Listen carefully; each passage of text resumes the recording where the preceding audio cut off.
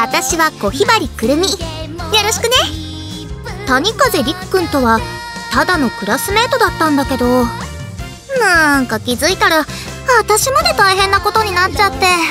もう大変。どんな風に大変なのかはちょっとここでは説明できないかな。なんちゃって。細かいことはゆずソフト最新作「天使創造リブート」をプレイしてみてね。発売は2023年4月28日の予定だよ。それから私のキャラクターソングが発売されるんだって。キャラソンの発売予定日は2023年2月24日。CD だけじゃなく iTunes ストアや Amazon をはじめとした音楽配信ストアでも買えるからぜひともよろしくお願いします。